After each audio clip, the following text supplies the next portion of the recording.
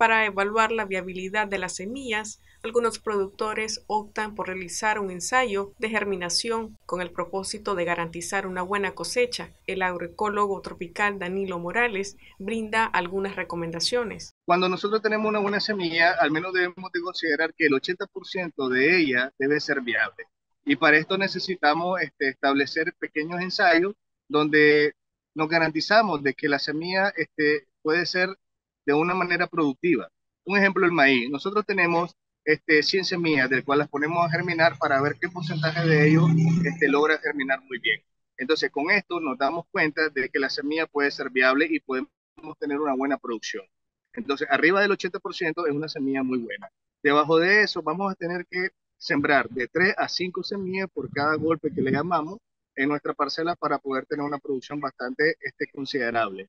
Es muy importante también que a la hora que cuando sembremos esta semilla con un porcentaje de germinación bastante alto, incorporemos lo que tiene que ver las micorrizas. Las micorrizas nos permiten a nosotros este, garantizar una buena germinación, un poco más eficientes para que podamos tener y aprovechar todos los recursos que encontramos en nuestro suelo.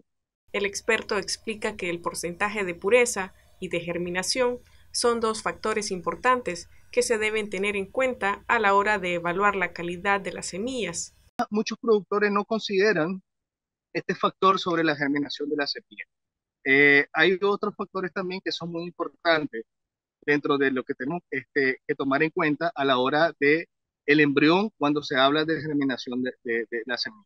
Normalmente en maíz o a veces en yuca encontramos que la germinación puede ser un factor muy clave a la hora de tener una muy buena producción estamos hablando de lo que tiene que ver este, con el fenómeno también que nos vamos a encontrar del niño, que va a ser una pieza muy clave a la hora de tener buenos rendimientos y a la hora de poder comprar una buena semilla, que es muy importante este, que el proveedor nos garantice a nosotros que la semilla pueda tener un buen este, porcentaje de germinación eh, y que pueda tener también una muy buena productividad en nuestro ciclo este, de primera. Entonces, a veces uno se confía, por lo menos en León se confía este, o se garantiza de que realmente lo cumple, pero este, la semilla hay un tiempo en que pasa almacenada, pasa en los puertos fríos y a veces pierde un poco de viabilidad.